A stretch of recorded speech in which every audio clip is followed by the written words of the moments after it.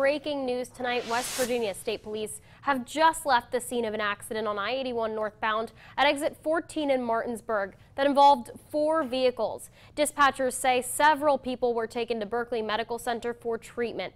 Dispatchers got the call just before 8:15 this evening. Shortly after the accident, a pedestrian was hit on the highway and transported to the hospital as well. All lanes were closed for about 20 minutes, then one was reopened, and as of 9:30 this evening, all lanes were open. State police are currently investigating. And